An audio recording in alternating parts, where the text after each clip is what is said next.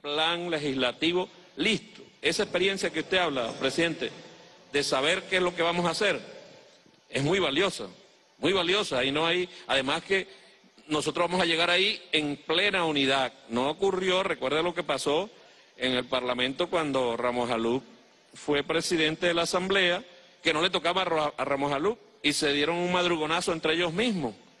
Y eso le restó a la Asamblea Nacional el, inicio real, porque nombraron los jefes de, comisiones como tres meses después. No se ponían de acuerdo ni siquiera para nombrar los jefes de comisiones, no sabían que había que nombrar los jefes de comisiones y las distintas comisiones. Nosotros debemos ir ya con un plan de trabajo establecido. Yo le pido a los candidatos que, que los que sean candidatos y candidatas asuman esto con la responsabilidad de tener un gran los ojos de Venezuela, sobre todo los ojos del pueblo. Vamos a legislar para el pueblo y debemos estar siempre, siempre acompañados de nuestro pueblo. No caigamos en las tentaciones y alejémonos de las tentaciones de la corrupción, de los amigos. No es la Asamblea Nacional y no puede convertirse. Recuerde, presidente, cómo era la Asamblea Nacional cuando, cuando comenzamos, que era una oficina de gestores los diputados iban a la Asamblea Nacional con un lote de carpeta para llevar a los ministerios, de empresas, amigas. No, eso no es la función de un legislador. Eso debe haber quedado en la Cuarta República y afortunadamente, luego de la, de la gestión del 2005 en adelante, creo que comenzó eso a, a cambiar. Yo recuerdo, claro, a corregirse. Yo recuerdo que yo era director de Conatel y a mí me interpelaban todas las semanas todas las semanas era interpelado en la Comisión de Administración y Servicios. Claro, y cuando salía me estaban esperando afuera los diputados con permiso de radio, solicitando permiso de radio. Y eran, mira, era tan descarado que uno les decía a ellos, hermano, porque ustedes hacen esto. Mire, es que tenemos que hacerlo porque si no, no nos sacan en televisión. Nos vetan las televisoras, nos vetan las radios.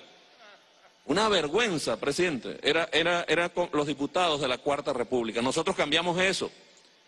Todavía había gobernadores cuando el presidente Chávez, el comandante Chávez, nuestro comandante Chávez decía que ningún diputado puede considerarse un poder fáctico de un Estado o de una región y que va a estar en la Asamblea por un gobernador en particular. No.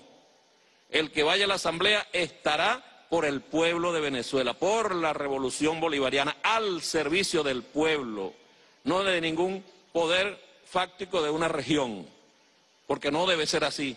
Y ocurría, recordemos que los gobernadores peleaban porque sus diputados estuvieran en la Comisión de Administración y Servicios, porque eran los que aprobaban las leyes eh, eh, de endeudamiento, la ley paraguas. Entonces, ellos peleaban para que metieran en sus, sus estados se consideraba un poder dentro de la, de la Asamblea. Afortunadamente la revolución ha ido corrigiendo. Yo le pido a mis hermanos y mis hermanas que no destrocemos las esperanzas del pueblo.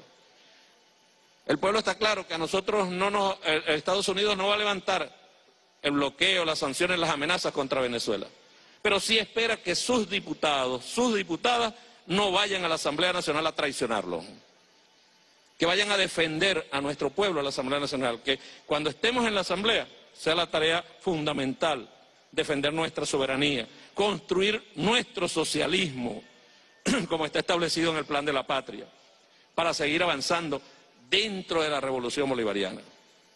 Es un momento histórico, por eso es necesario ganar esta asamblea y ganarla como, como debe ganarse, con una amplia mayoría que permita desde la Asamblea Nacional ayudar al Gobierno Nacional en todo lo que así se requiera, porque veamos la experiencia de estos últimos cinco años.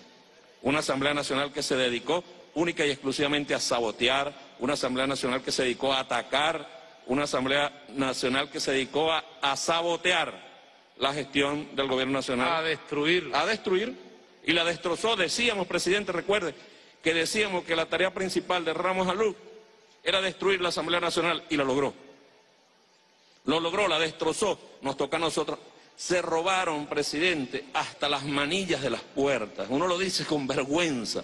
Pero usted va, nosotros que nos toca estar allí, pues, las puertas, que son manillas muy bonitas, pues, son eh, antigüedades, desaparecieron. Los rateros. Se las robaron, son unos pillos.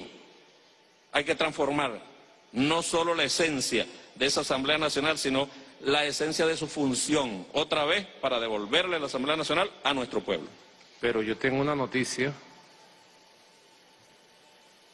Este no es Diosdado. Es el doble.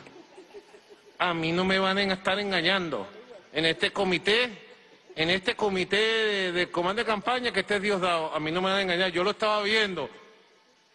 No es Diosdado. Si no se quita la mascarilla, no creo que Diosdado. Va a ver. Uno, dos. Ah, sí es Diosdado, vale. Sí es Diosdado. Bueno.